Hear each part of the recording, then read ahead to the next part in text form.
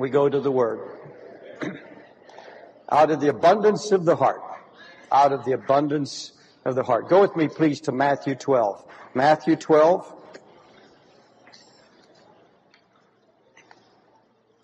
Beginning to read verse 34. Matthew 12, beginning to read verse 34. O generation of vipers, how can you being evil speak good things? For out of the abundance of the heart the mouth speaketh. And that's my message, out of the abundance of the heart. A good man out of the good treasure of the heart bringeth forth good things. And an evil man out of an evil treasure bringeth forth evil things. But I say unto you that every idle word that men shall speak, they shall give account thereof in the day of judgment. For by thy words thou shalt be justified, and by thy words thou shalt be condemned. Shall we pray? Lord, speak to our hearts tonight. Lord, there's a treasure in our heart. It's a treasury where we're storing up either wrath or goodness. And out of that abundance, our mouth will speak. And we're going to be judged on that day when we stand before you for all those things that we have spoken. Everything has come out of our mouths. Out of the abundance of the heart, the mouth will speak. Now, Lord, speak clearly to us tonight, and I pray for the unction, the anointing of the Holy Spirit, that nobody leave this house tonight without being deeply affected by the word, touched and moved and transformed, I pray. I need you, Holy Spirit. I can't speak, I can't do anything without your anointing. In Jesus' name I pray, amen. Now, according to Jesus, there's a treasury in us. That is our heart. And that's where we make deposits. And that's where we make debits. We pay out of that treasury. The United States government has a treasury and all the revenues of the nation go into that treasury and all the bills are paid out of that treasury. Now, it should be that nothing uh, goes out but what goes in. Our government is trying to uh, say that they can take out more than they put in. But you take out in kind what you put into the treasury. For out of the abundance of the heart, the mouth will speak. Our God has narrowed down those deposits into this treasury into two kinds, two kinds of deposits only. He said we are either storing up wrath or we're storing up goodness. One of two things. You can't store up anything else than wrath, storing up wrath. And here's the scripture. But after thy hardness and impenitent heart, impenitent heart, treasurest up unto thyself wrath against the day of wrath and revelation of the righteous judgment of God. He said, those that are hearing the word and not obeying, he, those that are hearing the word and not walking in the light of it, they're storing up wrath against the day of judgment. They're depositing into this heart treasury all kinds of wrath that they'll have to stand and answer for on the judgment day. Now, every day of our lives, you and I are treasuring up, the scripture says, either wickedness and wrath or the good things in life that lead to eternal life. I want you to picture for me, we are talking about deposits into this heart treasury. Let's talk about the millions of women and some men who are sitting day by day in front of a television set watching TV soap operas. Now folks, listen to me and hear me good. Among those millions watching are many, many thousands who call themselves by the name of Jesus Christ. And they are sitting there making one deposit after another. Some watch five days a week. Can you imagine the deposits that are going into this treasury, into this bank of the heart? Can you imagine how many uh, uh, adulterous scenes how many covetous scenes, how much revenge, how much manipulation, how the mind is jaded, how the mind is bombarded by these visions that they see, so that when their husbands come home, they, I, they try to project what they've seen on television into their own lives. And you show me a Christian woman who's sitting day by day in front of a television set and swallowing this garbage and I'm going to tell you it's going to mess up your marriage, your children, and your home. And if you're sitting in this church tonight and you are sitting there watching that filth, I'm telling you the time will come that it will absolutely destroy your home and your marriage. You cannot make deposits into this treasury with that filth, that ugliness. The most ugly, filthy television in the earth today are daytime soap operas. You cannot be an overcoming Christian and watch it. You can't. It's impossible. Don't go to some counselor. Don't go to your pastor after you see, after you fed your mind on that because what is in your mind is going to come out your mouth. It's going to come out. You will speak it. You'll speak the language. You'll, you, you will speak the despair that you have imbibed and taken into your life, imbibed into your spirit. You cannot watch this filth. It's absolutely impossible. For as a man thinketh in his heart, so is he. Gentlemen, the same goes for pornography. Any wicked, immoral movie or TV program. The man who indulges in pornography is going to think dirty. He's going to talk dirty. And he's going to listen and tell dirty jokes. I can always tell a man who's into pornography. Because whatever you deposit in your mind and your heart is going to come out your mouth. Out of the abundance. It's, it's called an abundance. It's a constant feeding into this treasury. It's building up and building up.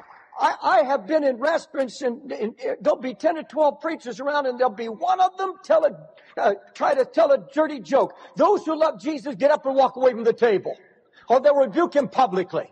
But you know that that man, if he's going to sit around a table with pastors and talk dirty and give a dirty joke, you, can you imagine what is in his mind? You, sir, go ahead and get that video, that dirty video, and put it in the little slot. Feed your mind on that. Build up these scenes in the treasure of your heart, and I tell you, it will come out. You will be exposed. It will be exposed. It will come out. You cannot be an overcoming Christian and feed this treasure of your heart on this filth and garbage. And folks, Sadly, this is a terrible tragedy and sin in the ministry today. Terrible, terrible tragedy. And folks, you can tell it when the man preaches, he tells jokes from the pulpit. And some of them just don't sound straight and right. There's something in your spirit if you're walking with God say, how can that man not take the things of God seriously? Because when a man feeds himself on that, he doesn't take life seriously and, and he will try, if he's married to get his wife to indulge in the kind of stuff that he's watching, he'll try to lead you finally into sadism. He will lead you into filth. He will lead you down the path. Sister, if you're a Christian, you don't have to go that way with your husband. You don't have to walk with him that. You rebuke him in the name of the Lord. You say, I'm going to report it to the pastor.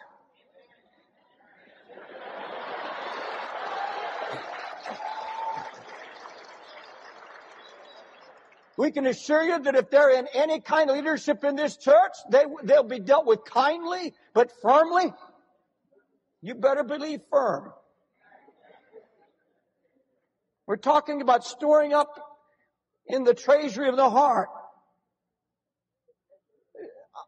What about this prosperity gospel that so many are involved in now? One man who was into this he was so saturated with it that's all he could see in the scripture. Everything he said, everything he saw, he would go through Proverbs and Psalms, every scripture verse, and he was so slanted in this direction. There was no balance in his life because he shut himself up in a garage with every prosperity tape of every preacher could get, and he shut himself in, I think, for 30 days in his garage and saturated his mind with it. No wonder that's all he talks about. That's what he that's, that's the deposit he, he made. Whatever in your heart in abundance will come out your mouth. Young people, let's talk about your music. Now listen to me, please. Christian young people, you say, what's wrong with listening to the militant rap music? Now, folks, everywhere you look in the city of New York, you see them going with their uh, blasters, going down the street, and rap music. But folks, I can't understand a word of it, but they can understand it. And when you look at the lyrics, go into the record store and turn over, look at the lyrics. And folks, it's demeaning to women. It's demeaning to Jesus Christ. It's demeaning to morality. And young people, if you say, well, Brother Wilkerson, that's my music. I'm of a different generation than you are. And you feed your mind in, with the lyrics, the militant, anti-Christ, anti-everything. Who is the Lord of your life anyhow? Some drug-crazed rapper? Uh, some drug-crazed hard rocker? Or is it Jesus Christ who's the Lord of your heart? For out of an evil treasury, they'll bring forth evil things. You treasure up evil, even music, then out of it is going to come evil. You say, Brother Wilkerson, are, are, are you rebuking us for our music? Well, listen to what the scripture said. It's better to hear the rebuke of the wise than for a man to hear the music of fools. You don't believe that's in your Bible? It's in Ecclesiastes 7 5. My Bible said you're to sing a new song before the throne. And the song you sing now, young person, right here on this continent, the song you sing now is the song that you're going to have to take to the judgment. I hope it's a song of praise and glory to the name of Jesus. Either make the tree good and the fruit good, or make the tree corrupt and its fruit corrupt, for the tree is known by its fruit.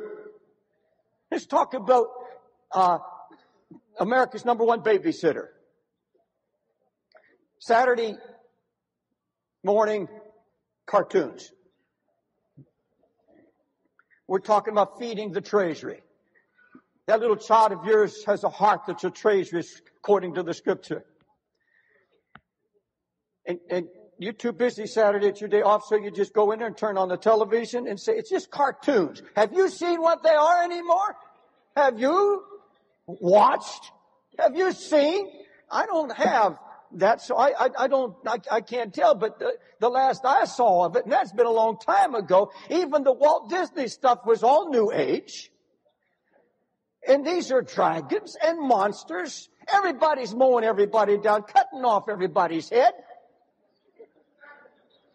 It's new age. It's violent.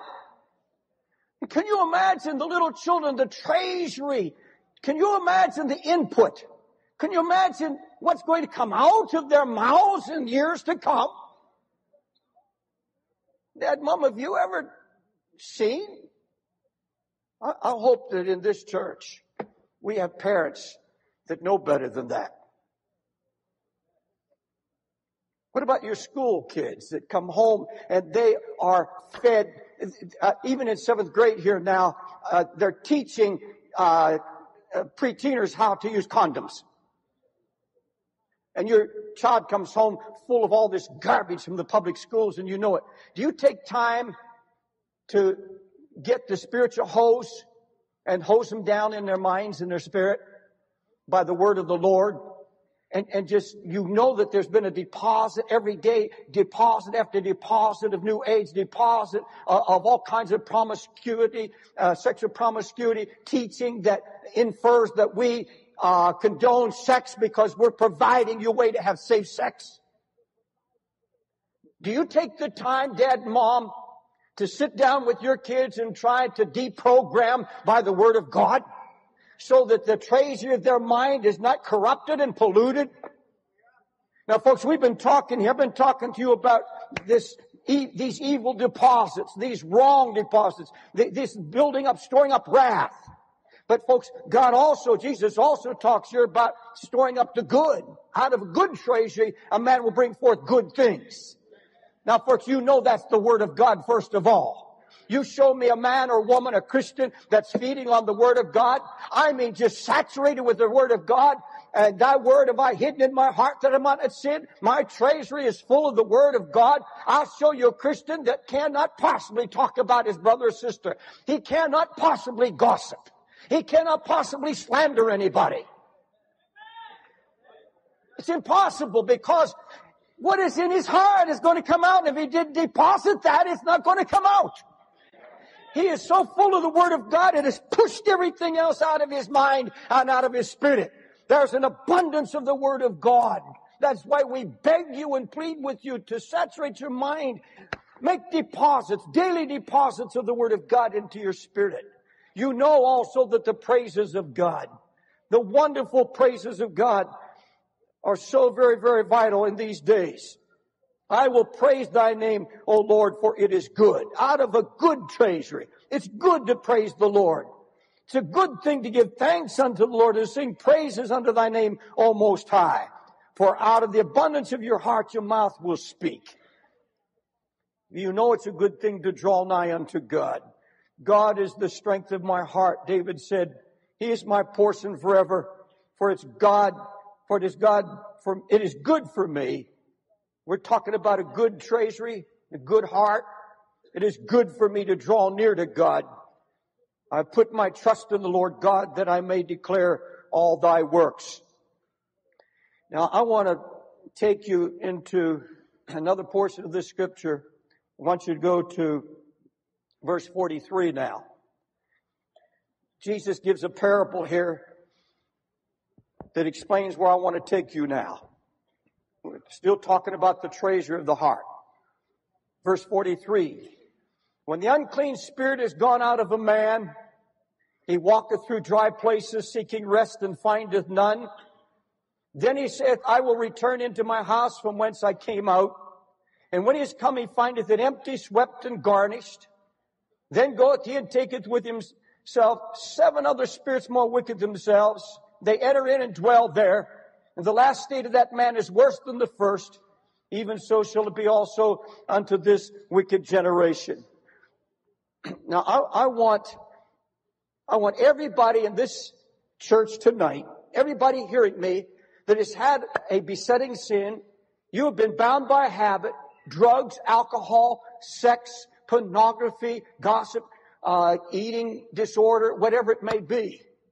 I'm telling you now that this scripture is, is giving us a clue, a warning first of all, then I want to take you into the Word of God and show you how I believe you can have absolute freedom. And I want you, if you've ever been on drugs or alcohol, if you've got a besetting sin, if you're fighting an overwhelming temptation, you've got to hear me tonight.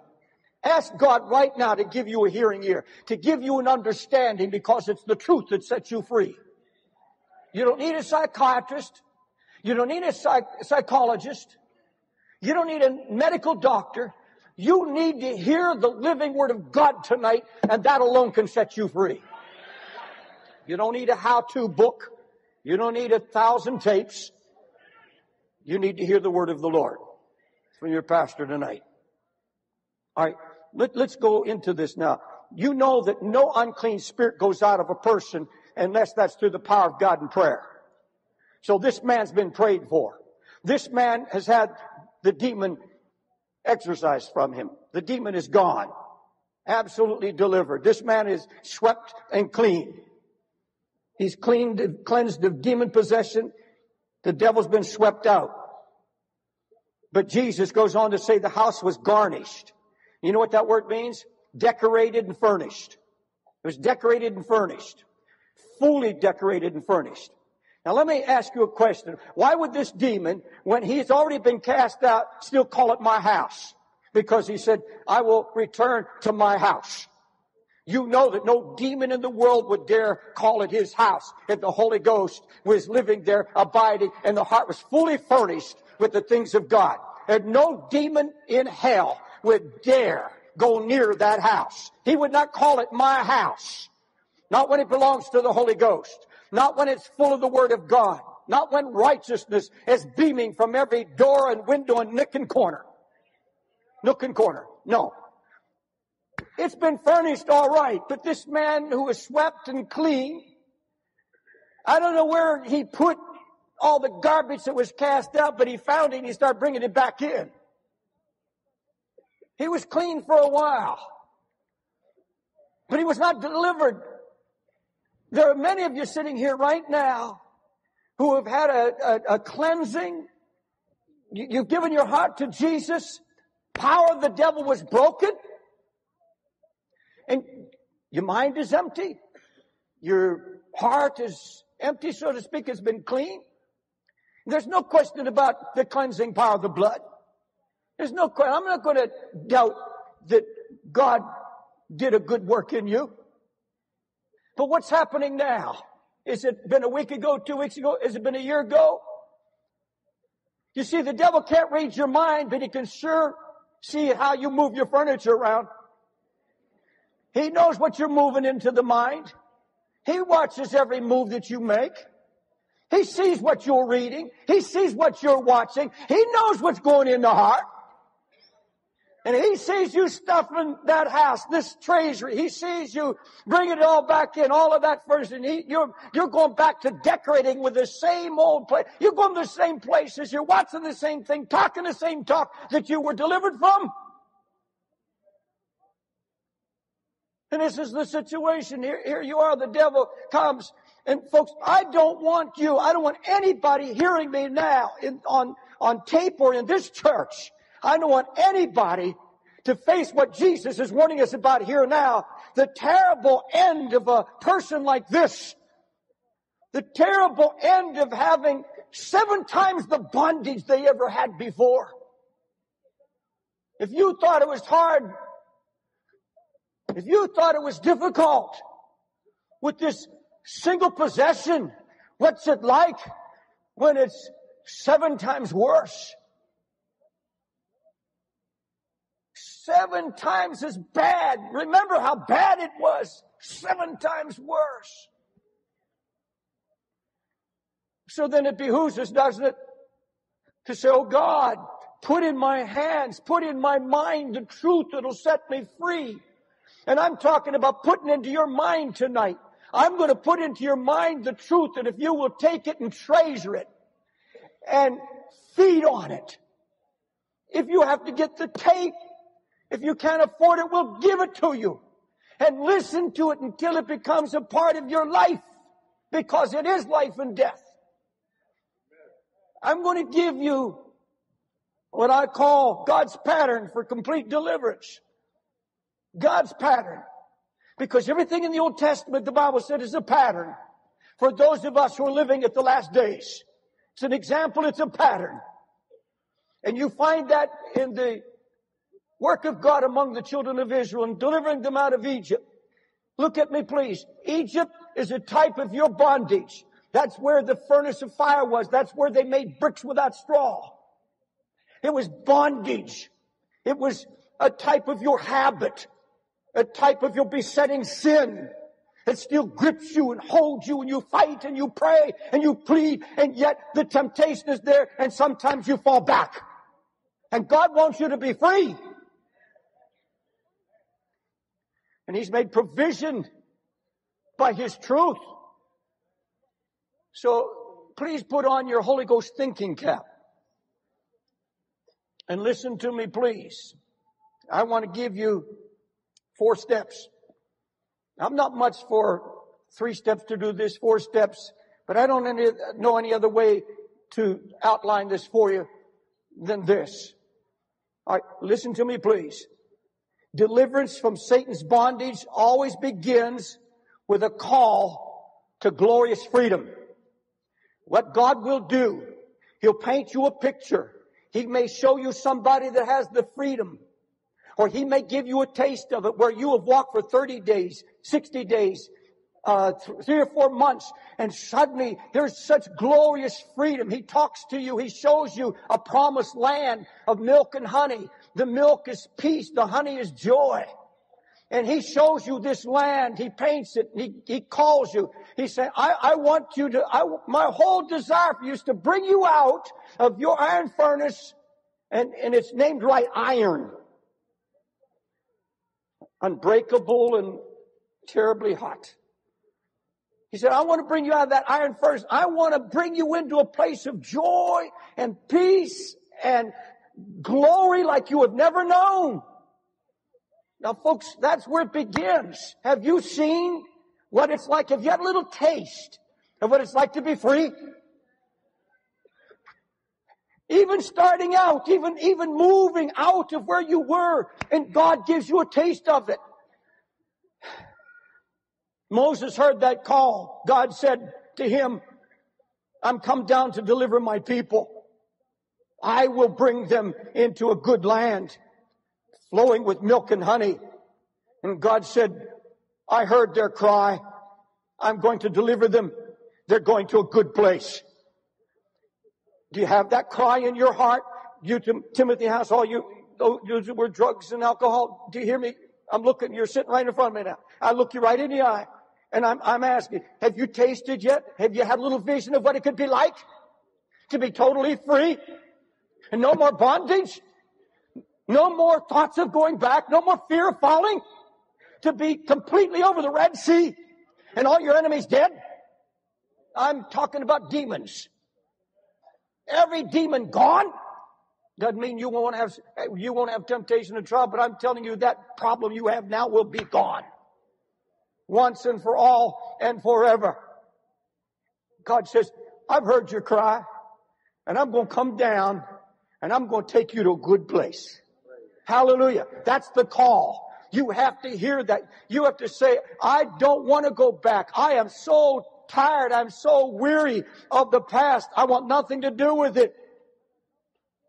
God said to Moses, it's not going to be easy, Moses. I'm sure that the king, now that represents your demon, the, the devil himself. I'm sure that the king of Egypt will not let you go, no, not by a mighty hand. But I will have to smite him, then he will let you go. I will have to smite him. You, you have got to come to the place where you are sick and tired of the pain, sick and tired of the suffering, sick and tired of what it's done to you, how it's turned you into manipulator and a liar and a cheat. You've got to come to the place where you're so weary and sick of this. Oh God, I can't take it anymore. I don't want it anymore. Why do you think Pharaoh was allowed by God to take away the straw? when God had already promised Moses he was going to deliver the children of Israel and take them to a good place. I'll tell you why. In simple language. Even though the children of Israel heard the call, said, we're ready to go, God knew that it was still in their hearts. They were not ready. God says, I've got to get this thing out. I've got to make them ready to go. I've got to make them ready to lay everything down and walk away from it. It was still there. So God intensified intensified the problem down in Egypt. He made the problem get worse than it was so they would get really ready to go. And I'll tell you what will happen. You can say, well, I want to be free, but God knows whether you're still flirting with it, whether you still like it, or you have a little taste of it. You can say, oh, I want to be delivered. We, right backstage this morning, we, have had two or three and, and almost every day on drugs, alcohol. I, I want to be free. And then the Holy Spirit will, even though I see tears and everything else, something inside says they're not ready. Those are just crocodile tears. And so the Lord's going to take the straw away. And they're going to go back and it's going to get worse. Until finally it gets so bad. Oh God, anything! I've got to get out. You take away the straw. Everything in those stories have a meaning. Secondly, you must be totally convinced that you cannot deliver yourself from the power of your sin. You can't. You cannot break your habit. You cannot free yourself. I don't care how many promises you make. I don't care how much you cry.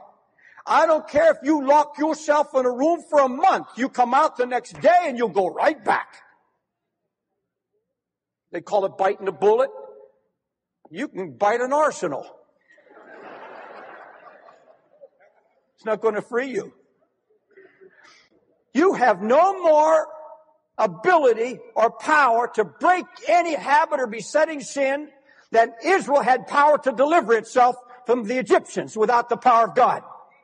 Can you imagine what would happen if Israel just got together without Moses and said, hey, look, we don't have to go his way. Let's just, look, we've outnumbered them. Even Pharaoh says we're stronger than they are.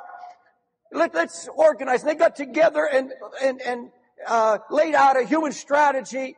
They were going to creep out in the middle of the night with, with clubs and bats and knives and sneak into their homes and kill all the firstborn. They would have been annihilated. They were no match for the iron chariots of Egypt. And in your human frailty, you're no match for the devil and his power. You saw his power's been defeated. I'll talk to you about that in just a minute. You have got to come to the place right now in this service tonight where you say, God, I give up trying to fight this battle myself.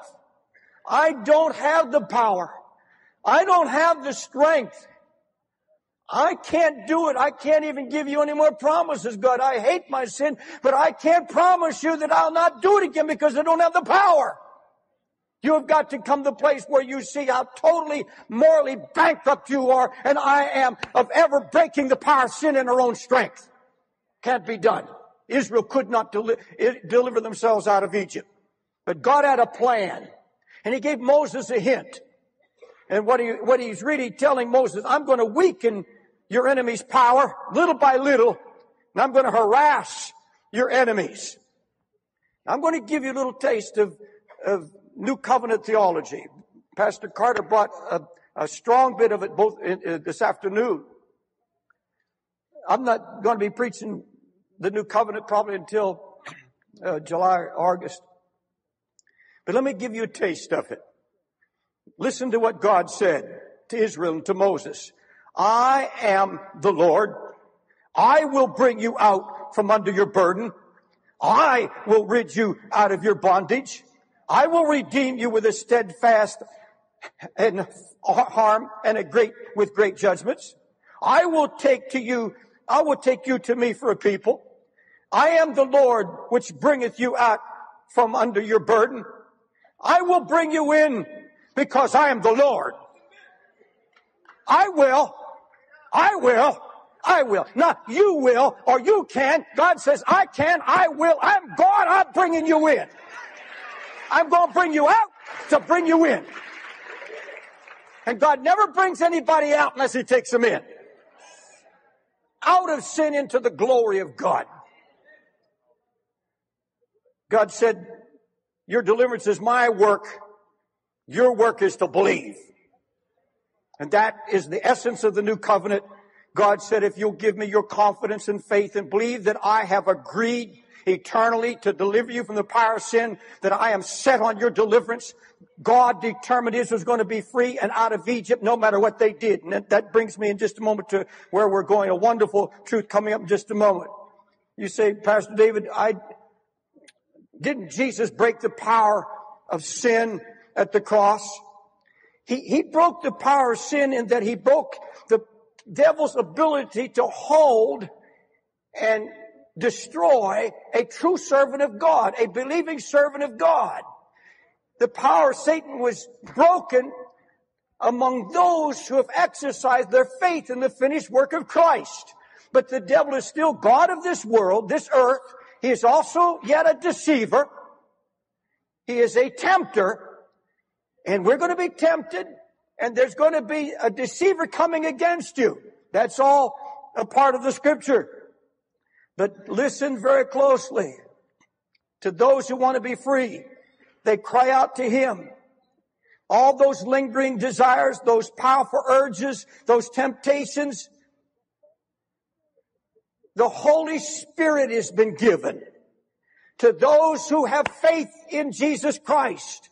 The Holy Spirit is sent by the Father. The Holy Spirit is infused into our very bodies, into our spirits, our minds, and our bodies. He comes and he says, by the Spirit of God who abides in you, I will weaken your tempter. I will weaken your enemy. Folks, deliverance doesn't come overnight. That temptation, God has to come and weaken nine plagues came against the enemy. And by the ninth plague, before the death, before the firstborn died in Egypt, listen closely. God, with one plague after another, was taking away the influence, the strength, and the power of Egypt. So by the ninth plague, Egypt was bankrupt. Egypt had no power. It lost its influence in the world. It had been the world's power. Those, those plagues didn't happen in 10 days, folks. This, this went over for months and months. And, and, and these plagues that came absolutely devastated the enemies of Israel. And that's what God does. If you just keep your eyes on Jesus and trust His Word that He's at work in you, even though the temptation comes overwhelming at you, God said, just hold steady. Keep your faith strong. I'm at work. I am harassing your enemy. I am weakening those temptations. I'm taking away their power.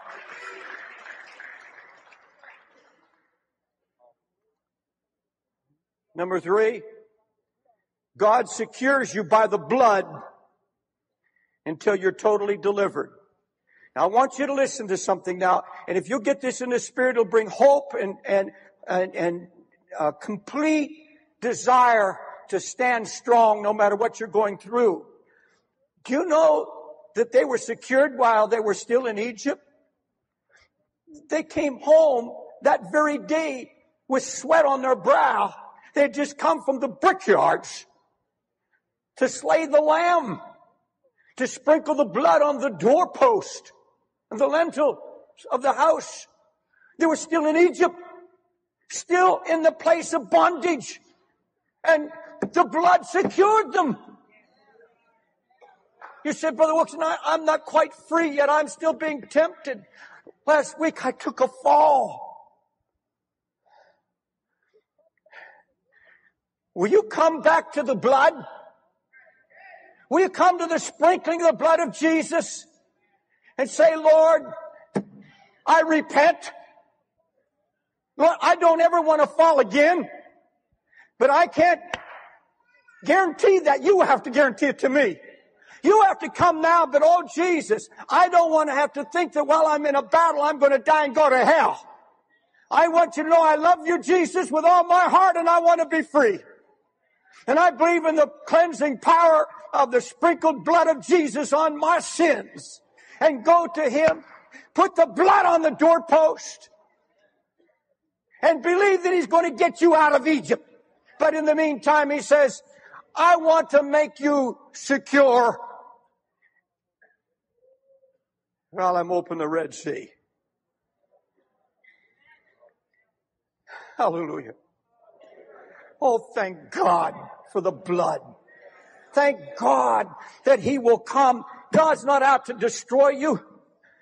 You that are in, in terrible, terrible plague of sin, I beseech you by the living mercies of God to hear the truth of the Lord, of the Word of God. If you have a heart for Him, if you love Him, if you believe His Word. So Jesus, you said, if I confess my sins, you're faithful and just to forgive me and cleanse me. Cleanse me.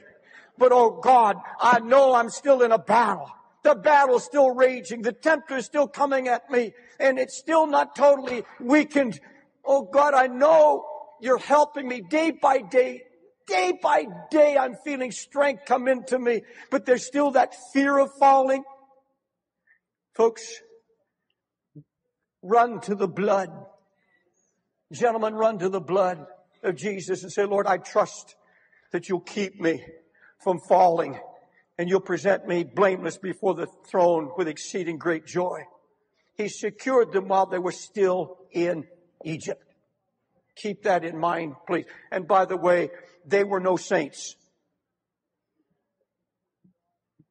Amos said they carried their idols with them the whole time. They were sprinkling the blood they were packing their little idols. And yet the mercy of God, the great mercy of God, just said, I, I secure you as long as you're willing to walk with me. I'm going to take you out, but you got to walk with me. You follow me now. You start feasting on the Lamb now. That's the Word of God. That's Jesus. He's the Word. And what they were doing that night, they were feasting on the Word of God. Hallelujah. Now, the final thing, I want you to follow me very closely now, please. Now, by the way, here's a great promise. Exodus 12, 23. I will not allow the destroyer to come in to your house to smite you. I'll not let the devil come in and smite you. I know that you're not really where you ought to be. I know I'm going to have to take you in the wilderness and teach you so much. But I'm not going to meantime, I'm not going to let the devil come into your house, into your heart and kill you. Fellas, thank God for that right now. Just stop and say, thank you, Jesus. You're not going to let the devil have me. You're not going to let the devil kill me. Amen. Glory to God. This is the key to maintaining hope while you're still in a battle. If you don't have that, there's no hope. Finally, God himself must deal the death blow to that sin. Who, who dealt the death blow that night? Did they sneak out and Egypt, uh, the, did the Israelites kill the firstborn? You know when God killed the firstborn, the, uh, when the Lord came and destroyed the firstborn in Egypt, it wasn't just judgment. It was just like God was looking at Israel and Pharaoh, representing the devil, had, had his fist around the neck of the children of Israel. And through the plagues, God had released all but one finger. And the devil's holding on with that one finger. He's losing his powers, losing his hold. And that night when the firstborn, it was the Lord just taking that and yanking it and setting them free. It was the death blow to the last hold. God has to deal the death blow to sin. There comes a time when he just, he does just that. By his mercy and grace, he says, that's enough, devil. It's time for my children to go. You've had your time. And he comes. Dear friend of mine, uh, famous author, acknowledged that he was an alcoholic, prayed and fasted and did so many things, made promises, didn't work, but just begin to seek God and begin to see the truth of deliverance. And he, he told me one day, he said, Well, Dave, I got up one morning. I just got up one morning after fighting years, after years of turmoil and torment. I woke up one day and it was gone. There was no desire for alcohol. He said, I haven't touched a drop since. He said it was gone. God had dealt the death blow to it. Some of you are just about ready for God's hammer. He came down and hammered the enemy nine times and finally said, that's enough. I'm going to give you the death blow now. Oh, and when that happens, you pack your bags and you're on your way. Hallelujah. You're on your way to your next battle. Red Sea. But when you get across the Red Sea, that's when you stand on the bank and you see all the enemy's gone. There has been a death blow to everything and it can't come back. That means that there's no fear of falling back. You can't, God's put a river between you and your past. Hallelujah. Now, what I'm telling you now, these are thoughts, these are truths that you must deposit into your treasury right here. And when the devil comes to you, you just reach into the treasury and say, devil, I don't belong to you anymore.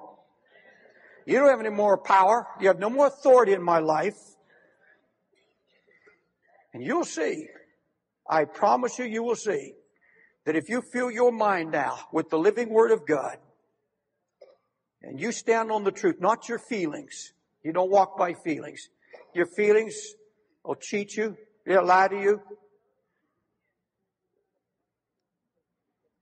You wake up not even feeling saved because your feelings are lying to you. You stand on the word of God. You say, I know, Lord, you know my heart. I want to be free. I'm sick of sin. I've come to you now. You start feeding your mind on the truth that God, through his blood, the son of his own blood, has cleansed you. And in the sight of God, even though you're fighting a battle, he loves you and you're accepted in his sight. You're accepted in his sight. Hallelujah. You've got to believe that He's going to keep you from falling. Who's going to keep you from falling? You're going to keep yourself from falling? No. He said, I'm your God.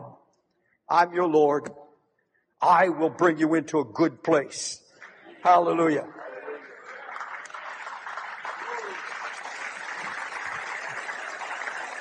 Will you stand? Raise your hands and praise the Lord. Just thank Him for His delivering power. Lift your hands, saints, everybody in this house. Let's thank Him for our deliverance. Lord, thank you for delivering us from the power of the devil. Thank you, O oh God, for the promises of your word.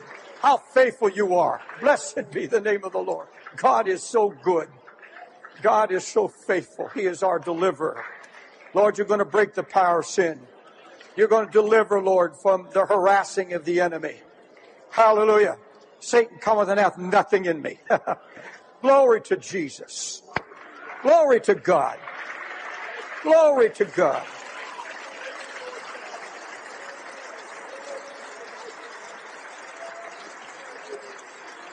Hallelujah. Hallelujah. Hallelujah. Balcony to main floor. I want everybody, and I want you to get down here as fast as you can all over this building, up in the balconies. I want you to get out of your seat and say, brother, I want to walk out of here absolutely free. I want to know in my heart that I am, I, I am being delivered by the power of Jesus Christ and I want to walk out of here as free as a man or woman can be. That's it. Come on. God bless you from everywhere. This is your night. Hallelujah. I want God to put faith in you.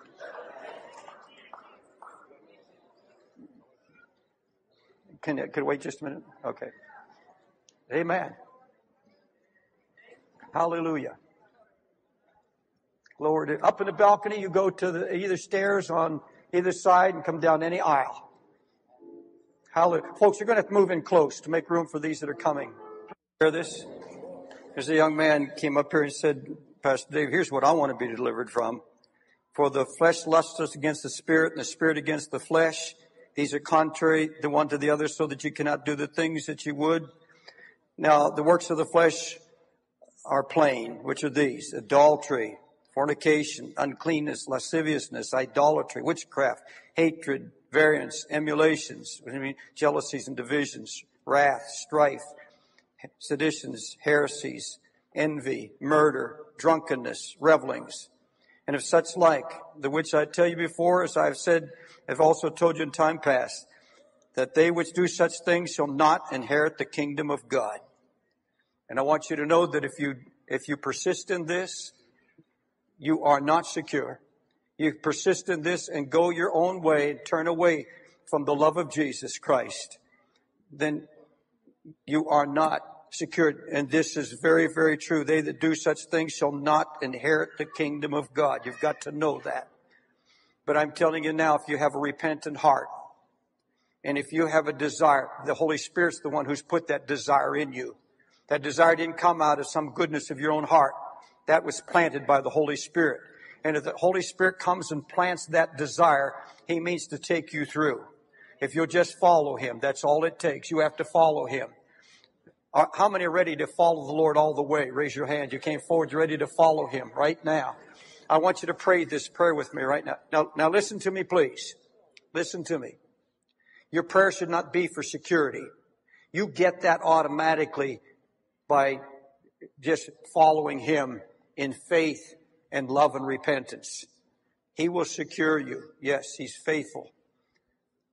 But more than that, you say, Lord Jesus, more than anything else, I, I, no, you don't have to pray yet, but more than anything else, I, I want to enter into that wonderful place of rest. I want that promised land. I don't want this burden anymore. That sin's a terrible burden, isn't it?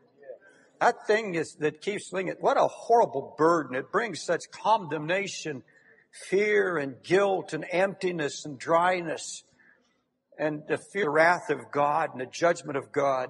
The Lord doesn't want you to live that way. God's not mad at you. Do you understand that? How many can say amen to that? Amen. God's not mad at me. He wants, he's, God is set on delivering me. You've got to believe that right now. God wants nothing more than to set me free. God wants me to enjoy His presence and enjoy life. He's not mad at you. He wants you to be free. Will you follow Him now?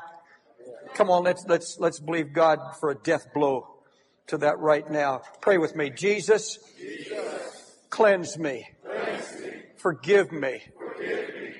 Purge me. Purge me. Sanctify me. Sanctify. I know, Jesus, I know you put faith in my heart by the Holy Spirit.